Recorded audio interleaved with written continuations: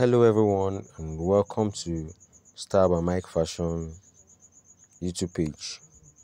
So, today we are going to learn how to cut the uh, vintage style shirts.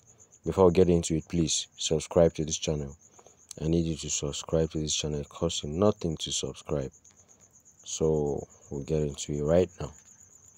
Now, this is the fabric we're using. This is the fabric we're using for this first of all you're going to fold it into two fold it into two like this as seen in the video. Hope you can see this they I folded it. So this is how to cut a vintage shirt. Now you are going to measure two inches two inches along the length of the shirt that 2 inches is the folding allowance for the button and the buttonhole so it's like an extra 2 inches to the front. Now this is the total length of the shirt which is 27 inches. So we'll add 1 inch to it to the total length to make it 28 inches total length of the shirt as seen. So you can see where I marked my chalk. Now we're going to the shoulder. We're going to slant the shoulder by 3 inches. 3 inches. Slant your shirt shoulder by 3 inches. This will ensure best fit. So this is the chest measurement. You can see 10 at the chest measurement that will be 40 because we've divided the measurement by 4 so 10 is 40 the chest size is 40 you see that extra inches I added there for the sewing allowance. So after that we are going to divide. We divided the after cutting the shirt we divided it into two. Yes we divided the material into two at the front side now this is that two inches that we that extra two inches that were added. This is the extra two inches that were added to our main our main um measurement. So we're going to fold that because that will be the basis for attachment of the buttons and also the buttonhole so this is how you fold it. This is how you fold it. Now you can see I've, at this point i had already folded it use the iron. Make sure your work is clean and neat. Use the iron. Fold it like so. As seen in the video. So you have to be aware of um, the parts that will carry the buttons and the other parts that will carry the buttonhole the one that is carrying the buttons will be smaller in size than the one that is carrying the buttonhole normally the one that carries the button is on the left. Sorry it's on the right. Then the one that is carrying the buttonhole is on the left. That's for someone who is right-handed. So as seen here you can see that the one on the left is bigger than the one on the right. Yeah. So that's the folding. And then next we're going to place place the we're going to place the front piece on the back piece. Place the front piece on the back piece. Now you look at that distance the distance you're going to add extra four inches four inches extra four inches to the back piece. That's extra four inches to the back piece of the shirt material.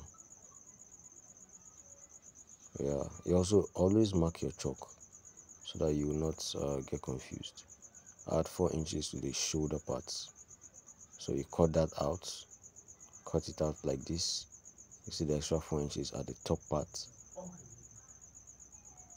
This is you just placed the front part on the back pieces and then you cut it out.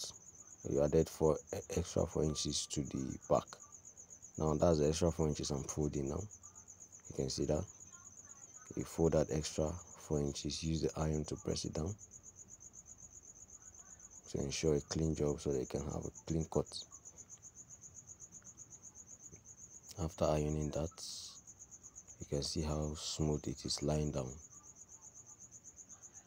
At this point you are going to measure the neck. Measure the neck. The neck is normally three inches. Three inches from the top by how many two inches three by two. As you can see here three inches by two inches. So you strike a line there and then you curve it. Use your scissors to cut it out. At this point please ensure to cut only the front piece of your clothes. As seen here lift it up like this. Don't cut everything at once. Cut only the front piece and then you take it all the way to the back as seen like this. Because if you go and cut something wrong uh, you are your own oh. okay. Now this is where you measure the shoulder. This is the shoulder of the shirt the shoulder of this measurement is 18 inches but you can see that we've measured 19 that is extra one inch. 18 and then we measured 19 that is an extra one inch for the sewing allowance. That's for the shoulder so you're going to mark your chalk at the 19 inches 19 inches. Mark your chalk there because you're going to cut it. So to get your armhole that same 18 inches that is for the shoulder you're going to cut mark it down. Mark it down. That is the 18 there. 9 is 18 9 times 2 is 18 so that is 9 inches. Mark it there. And then you slant your armhole slant your armhole you can see that is the extra half inch I added there slant your armhole as seen.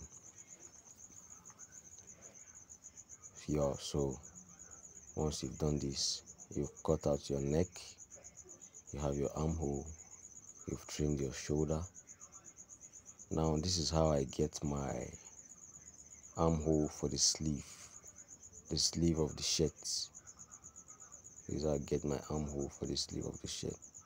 I place the front and the back piece as seen and then I'll take my tape and measure out the length of the armhole as you are seeing me doing it here. And this one will result to 11 and quarter. The size of the armhole is 11 and quarter. And so this is what exactly what i'm going to apply when i'm cutting out the armhole for the sleeve of the shirt. Now as seen. So now to get the sleeve you're going to measure four inches four inches into the fabric and mark it. You can see that i marked it with the yellow chalk mark it and then you create your armhole curve as seen. Create your armhole curve as seen. Now this is the length of the of the sleeve which is nine inches. You are going to add extra three inches to make it 12 inches. One two three three inches to make it 12 because we're going to be folding that back. So now this is the result of that sleeve that we've cut. You can see the slanting of the armhole. If you use this pattern you measure your armhole before you apply it on the sleeve. You're never ever going to run short of a sleeve. Like there are other times you can cut a sleeve and you discover that it didn't go all the way around the borders of your clothes. But once you measure it you're going to make sure that everything fits well. So you just take out that uh, the first sleeve place it on the fabric and cut out the second sleeve. As you can see me doing here so that's as easy as that. You cut it out as seen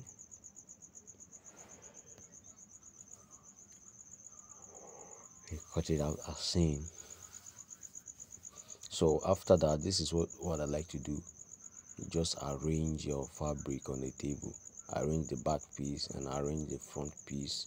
As you can see me doing it here i've arranged this thing as if this shirt is already sewn but i've not finished sewing it. I just placed it equally like this so that you'll be able to see the parts that uh, are overlapping such that you can trim them easily and get the perfect size of shirt before you go to the the machine to join it. Now after trimming the neck and the borders the ones that overlap that passed out. This is what you have for the shirt for the this is what you have. I've trimmed everything. Now look at the armhole. You can see that the back piece is bigger than the front piece. It is deliberate. This is not an error